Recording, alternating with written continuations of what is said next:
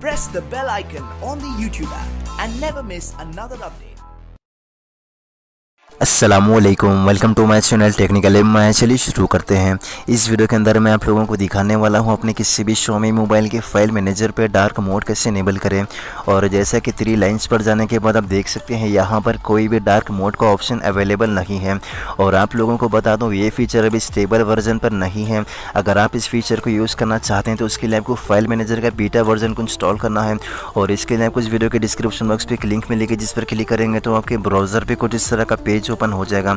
तो आपको simply centre में डाउनलोड वाले ऑप्शन पर क्लिक करना है और नीचे की तरफ़ आपको एक डाउनलोड पॉपअप मिल जाएगा। तो आपको सिंपली ओके वाले ऑप्शन पर टाइप करना है, जिसके बाद फ़ाइल मैनेजर का बेटा वर्जन आपके नोटिफिकेशन बार पर डाउनलोड होना स्टार्ट हो जाएगा। तो यहाँ पर आपको थोड़ी देर वेट करना है। और जैसा कि आप देख सकते हैं फ़ाइल मैनेजर का बीटा वर्जन डाउनलोड हो चुका है।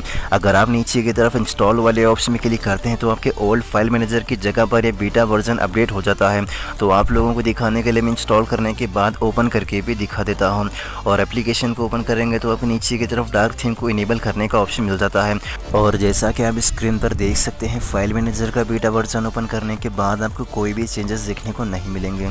और यहाँ पर भी आपको सेम इंटरफेस मिल जाएगा। और डार्क मोड को इनेबल करने के लिए आपको लेफ़्ट साइड में ऊपर की तरफ़ थ्री लाइंस पर जाना है और आपको सेंटर में डार्क मोड का ऑप्शन मिल जाएगा तो आपको सिंपली इस वाले ऑप्शन को इनेबल कर लेना है। और जैसा कि इनेबल करने के बाद आप देख सकते हैं फ़ाइल मैनेजर का बैकग्राउंड ब्लैक हो चुका है और आप लोगों को दिखाने के लिए मैं कुछ फोल्डर्स भी ओपन करके दिखा देता हूँ।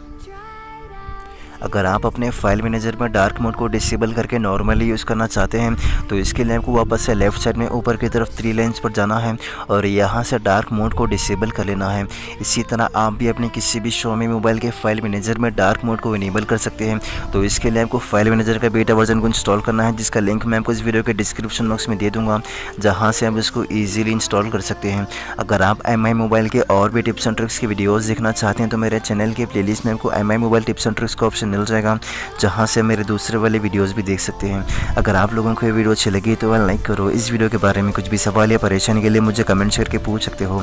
अगर आप लोगों ने अब तक मेरा चैनल अगर सब्सक्राइब नहीं किया तो जाकर सब्सक्राइब कर लो, ताकि मेरे आने वाले अंदर वीडियो अब तक पहुँचती रहे। तो भी चलता हूँ। अल्लाह हाफ़